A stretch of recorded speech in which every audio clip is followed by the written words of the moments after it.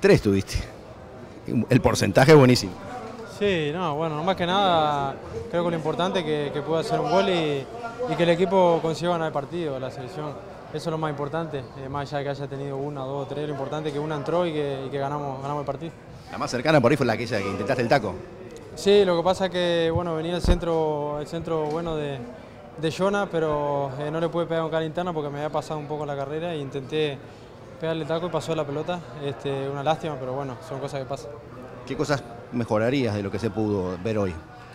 No, mira, creo que fue un partido muy competido, la verdad que ellos son un, un rival que, eh, que son fuertes, que es, eh, físicamente también son, son muy buenos, la verdad que tuvieron este, un buen juego por momentos, creo que nosotros también fue, intentamos, intentamos jugar en algunos momentos, eh, por ahí en algunos tramos del partido nos, nos, faltó un poco de tranquilidad a la hora de, mover el balón y, y, bueno, intentar este, jugar por los costados y, y llegar con gente. Eh, creo que bueno, el último ha sido un partido un poco de ida y vuelta, ¿no?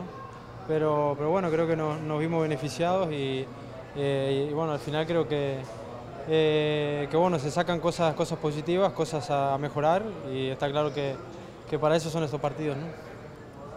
Te cuento lo que dijo el maestro en una nota recién. A Estuani hay que valorarlo, hay que valorarlo mucho. Se tiene que instalar más en la gente.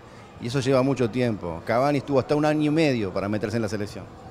No, bueno, la verdad que, que bueno, eso, es siempre importante. La verdad que uno siempre intenta eh, dar lo mejor por la selección y aportar cosas para, eh, para sentirse bien y además para eh, tener confianza. Y bueno, la verdad que poco a poco se van dando las cosas. Importante tener minutos, importante jugar.